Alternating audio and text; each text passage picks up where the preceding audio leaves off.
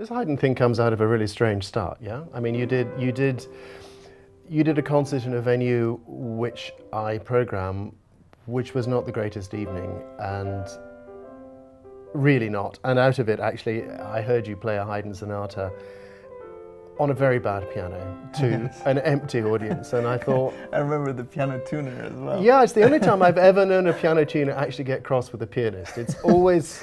It's always funny. the other way around. it's funny now. It wasn't funny at the time. I was really embarrassed. But but I remember in the car on on the way back to the hotel, quite upset that you'd had such a bad time, saying, "Look, you know, that Haydn sonata was really special.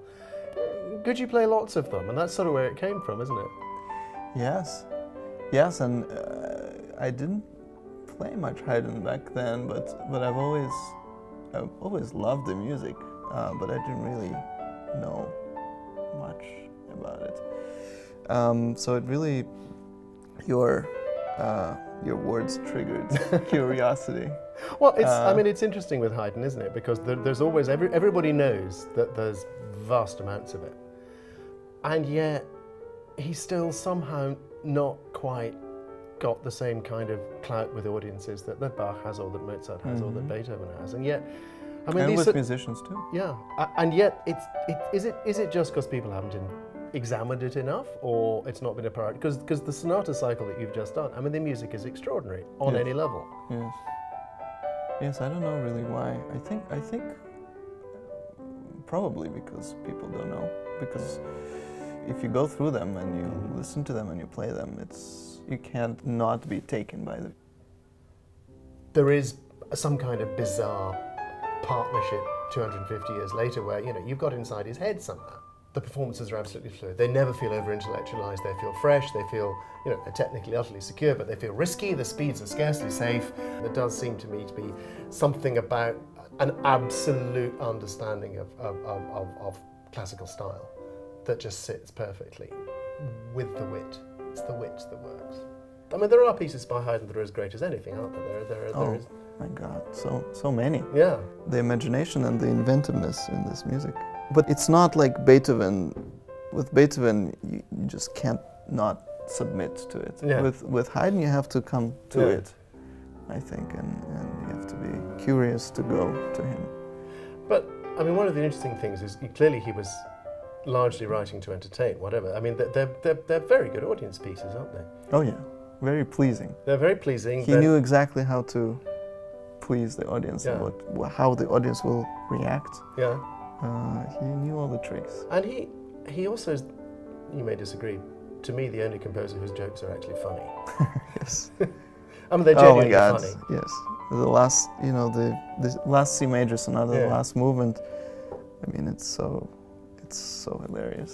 And, and the pauses in the pauses in the last movements Yeah. of the symphonies and things like that, which fool audiences into yeah. clapping earlier. Yes, You can just- absolutely. you can just see him sitting in a room, can't you, saying, How can I yeah.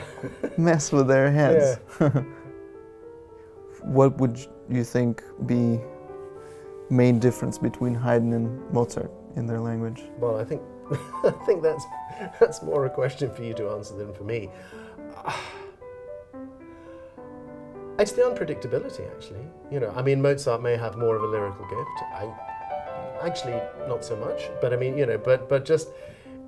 I, I'm unaware of any piece of Haydn I've ever listened to, even going really, really early, but there hasn't been a moment in it when I've thought, good grief, that's incredibly modern, or I've never heard that before. And what's the difference between playing Mozart and playing Haydn?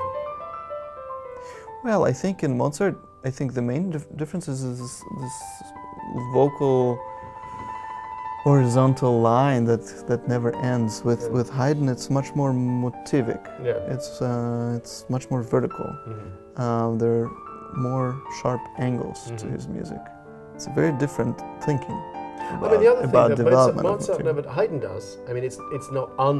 Sorry, this is very trite. It's not unlike Schubert. Haydn will just suddenly stop something and just go somewhere else. Absolutely, You know, there's, there are just these side steps. absolutely. Okay, I was going down that path, but actually, that looks interesting. Exactly. Let's go there. Yeah. That doesn't happen in Mozart. No. because it's all so joined up and so perfect. Well, James, let me ask you: uh, Was it difficult on your end to to convince? Well, no, actually. Um, I mean, I'm a great. I know it can be very boring, uh, and yet it can actually be incredibly exciting. I'm, I'm, a, I'm a great believer in collectability. and, and, and going on a journey with composers. So I've, I've got a bit of a track record here. Festivals are about Festivals are about doing mad things that you wouldn't do any other time. If you had done it as a subscription season, so you do it over a 10 month period, one Haydn a month, people would come to 3 Mm-hmm. you know. But they wouldn't make it a priority that, oh, that's festival. Of course. It's a claustrophobic thing, I'll follow it through. So they I- feel like I- they own it. They Yeah, feel like uh, they develop this relationship with the composer. But I, I, I really believe in, you know, occasionally bits of obsessive programming because I think it takes people on a journey. Yes, we need more people like you.